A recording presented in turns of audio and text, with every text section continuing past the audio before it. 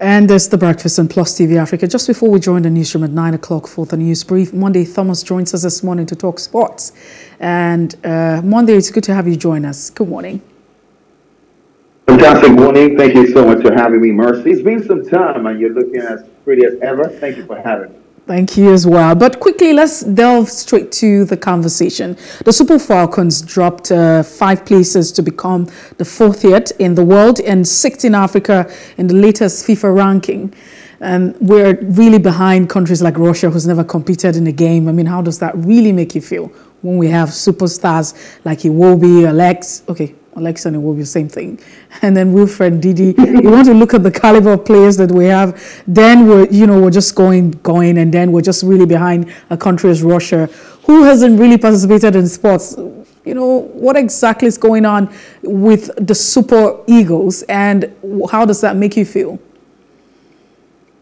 Well, as a patriotic Nigerian, I'm really sad. But as someone who understands football, I expected this because when we are being coached with uh, a manager who hasn't uh, achieved a lot in football. I mean, every manager needs a chance to achieve whatever uh, they need to. But of course, the Super Eagles is a big job, and when you're taking on a big job, uh, the expectations are very high, the standards are very high, and I must say, Coach Joseph Peseiro doesn't match the standards of the Super Eagles, but he certainly match, matches the standards of the NFF because the NFF have brought themselves so low to be taking managers who haven't achieved a lot in world football. I know he, he's got good pedigrees when it comes to training. He was once upon a time in Real Madrid. He has been the coach of uh, Venezuela. He spent some time in Portugal. But what has he really achieved? Has he been able to assemble stars?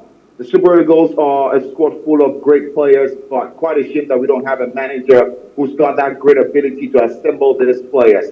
Victor Osimhen, imagine him banging in goals in Italian Serie A, but when it comes to the Super Eagles, he's not getting those supplies. And the other thing is, the Nigerian players are not as good as we think they are. How many of them get to start games for uh, their uh, club side at this particular time? Wilfred Ndidi played the first game against uh, Guinea-Bissau, uh, where he was the mess in that midfield. He couldn't make it in the second game. And Nigeria also a team when you expect them to win, they get to disappoint. I'm pretty sure you're familiar with that already, Mercy. When you expect them to struggle, that's where they surprise you. But that shouldn't be so. We're now sixth on the log, 40th in, in uh, the world, sixth in Africa, and 40th in the world. No one is going to respect us, and that's quite a shame for us.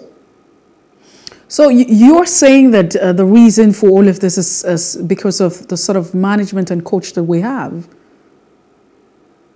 That's what it is. That's what it is. We don't go further than that. And also the kind of players we have. We don't have that quality of players that we, we think we do. So basically, that's what it is. Mm. Okay, so um, let's also look at you know the next thing now is uh, also the F Super Falcons who will commence World Cup preparation with Mexico, and then of course if you also look at you know the group stage or category where uh, uh, looking up, uh, we're going to be up against the likes of uh, Canada, we're going to be uh, up against the likes of New Zealand and Australia. This team, uh, it's not a joke, They're really not a joke, even if it's the female version of it. If you also look at the male version, it's also not a, a joke as well. Do you see us, you know, making it? We've not made it in the past occasions, so I don't see us making it. I mean, because I don't see it doesn't mean it can't happen. Uh, why is why do I feel like you're just being very pessimistic this morning? but I just, I just, I just have to be brutally honest, Mercy. As far as shame, the last uh, eight games, the Super Falcons have been involved in just one week, and the same problem we are having uh, with the coach and the Super Eagles is what we're having at the Super Falcons. Coach Randy Waldrum quite a shame, but that, that he should have been coaching the, the most successful African team as far as football is, women's football is concerned. And heading to a World Cup, we are going to take on the likes of Haiti in Antalya and as well as New Zealand. And when, he, when we get to the World Cup, we take on the host nation, I think Australia, and as well as great female footballing nation as Canada. I mean, I used to expect a lot from the Super Falcons, but I will urge people listening to me right now that they should temper their expectations. I mean, it's the World Cup. We've not had a good record at the World Cup. I think the best record we had at the World Cup was a quarterfinal finish. in 2003. I was very young, but I can still remember that game. Speaking the Brazilian, I don't know how old she is now. Maybe she's a grandmother. She scored a free kick, and I saw Nigeria lose that game by four goals to three. Shout out to the likes of uh, Mercy Akide. They were the ones holding down the Super Falcons Falcons at that time. But at this time, we have the likes of Asisat Oshoala, Rashida Ajibade. They, they are having a great time in Spain, but they certainly don't have a great time when they play for the Super Eagles of Nigeria, and that's King. Mm. But, let's begin to talk about, you know, the solution. Do you think this is a way forward? Is there any remedy, you know, before all of this, uh, before the Super Falcons actually face the game? Do you think there's also a remedy for uh, the Super Eagles as well before the next ranking? I mean, football, as they say, you're as good as your preparations. They should get their preparations right and ensure that these players are guaranteed of their incentives, bonuses, some level of motivation because you don't expect someone to leave their club side from Spain. It's the World Cup. I know other club football will be on break, but these players need to know that uh, they are playing for the national team, they are playing for pride. But at the end of the day, they will have food to eat when they get back home. They will have some fancy stuff to buy with the money they will be promised.